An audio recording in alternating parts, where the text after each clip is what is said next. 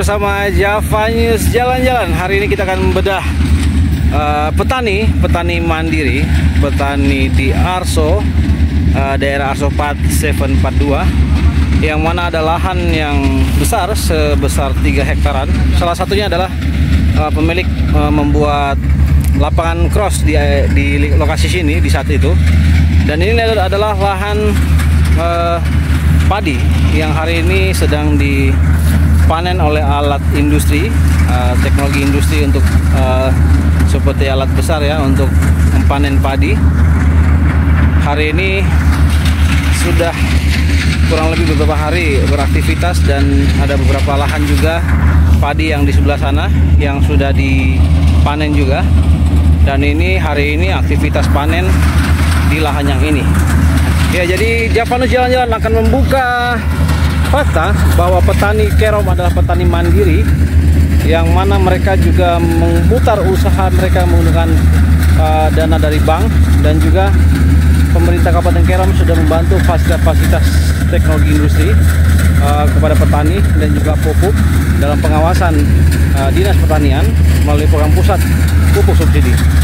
Dan hari ini kita bisa bisa melihat bahwa ada satu alat uh, pemanen yang dibawa uh, oleh operatornya untuk mengeksekusi satu lahan uh, padi. Satu hari hari ini siang sudah pukul jam 3 sore saya masih di sini. Saya akan buat peliputan bincang-bincang dan juga uh, diskusi mengenai bagaimana tiap-tiap petani padi. Oke, okay, kita lihat uh, alat traktor ini uh, padi siang hari kalau di zaman dulu mereka menggunakan manual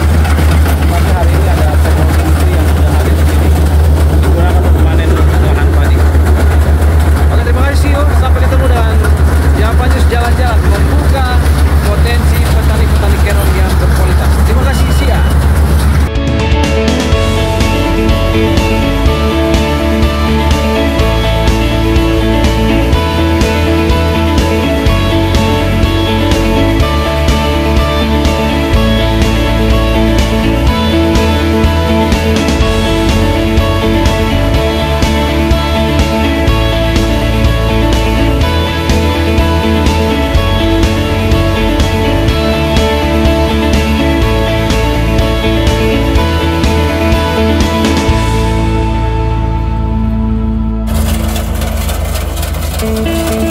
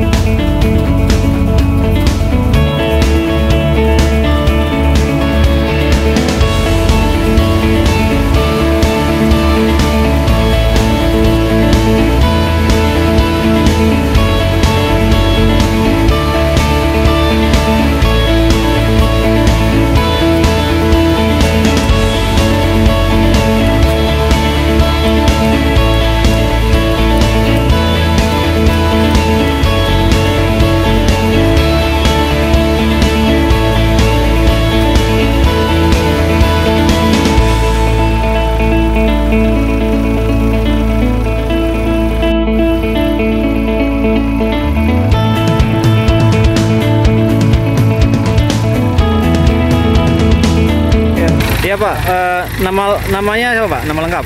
Yusman L. Pak Yusman L. Bapak ada pemilik lahan di sini? Ya, Ini sudah berapa hari eh, panen ini? dua hari sekarang. Dua hari ya. Sudah berapa karung Pak produksinya? Sekarang sudah 60. 60. Oh, tambah ini. Sudah 70 lebih. 70 lebih ya. Ini ada berapa lahan hektar yang Bapak punya untuk khusus padi saja? Kurang lebih 2 hektar. 2 hektar khusus padi. Tapi ada varian eh, tanaman lain juga? Ada jagung. Ada jagung, apalagi? Jagung saja banyak. Jagung dan jagung dan padi ya. Ya. Kemudian selama ini eh, pemerintah Kerom sudah memberikan bantuan apa saja ke Bapak? Belum ada. Belum ada. ada sama sekali. Ini baru pribadi. Pribadi ya. Kalau alat sendiri milik siapa? Ini dari pemerintah. Pemerintah ya. Jadi eh, pemerintah yang turunkan alat untuk panen raya hari ini ya. Ah, ini kan dari kelompok sebelah itu kita pinjam Pinjam ya. Tapi milik dari Pemda Kerom. pindah ke rumah. Nah, Berarti ya hanya perlengkapan panen yang dialokasikan di sini hari ini ya. Ya, ya. Oke. Ya sukses selalu Pak. Oh, ya. Terima kasih.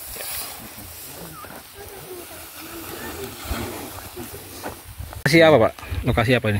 Kalau ini lokasi mau rencana persawahan. Persawahan. Jadi ini pengairannya dari sini ya, Pengirannya bendungan ini. bendungan.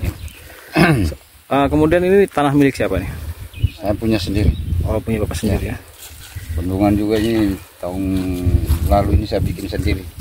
Karena ini pas cabang kalinya ini satu dari sana, satu dari gunung.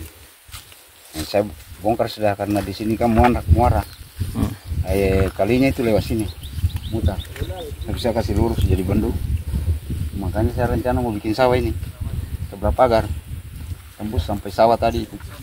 Untuk rencana lahan berapa hektar untuk sawah ke depannya? Sekitar kalau jadi ini 12 12 hektar. Jadi Ya. pus, eh, air air ini untuk menghidupi lahan itu ya. Kalau ini kalau cuma 12 belum apa-apa airnya ini. Kalau mungkin 20 aja belum Masih bisa mencukupi Masih ya. Ini berarti air mengalir dari kali itu ya. mengalir, Mengalir. mengalir. Tidak pernah mati airnya nih, biar kemarau. Memang kecil, kalau kemarau itu kecil tapi tidak mati. Normal terus. Tadi ada beberapa bendungan kecil-kecil yang Bapak bikin ya pribadi ya. Kalau Peng- alur pengali pengairan drainase. pengairannya itu kan yang tadi kita lewat itu, Ya. pengairannya itu. Kalau saya kasih naik papannya bendungan ini kan airnya naik pulih. Dia bisa mengalir masuk. Oh, jadi ada pembatas ya. Ya, Pengaturan papannya. papan air ya.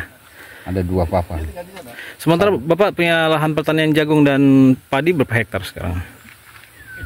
Kalau jagung itu yang sekarang ada ditanam itu kurang lebih tiga hektar yang ditanam sekarang jagungnya. Untuk padinya Padinya yang sudah ditanam ini sekarang kurang lebih dua hektar. 2 hektar. Nah perencanaan kan kita bongkar sebelahnya itu. Kalau di situ 2 sampai eh 3 sampai 4 hektar mungkin tahun ini sudah bisa ditanam. Oke. Ada ada hal ada hal lain yang mau disampaikan lagi? Nah mungkin itu saja yang bisa saya sampaikan. Oke, sukses Pak. Semangat. Ya. Petani Kerom sukses. Amin.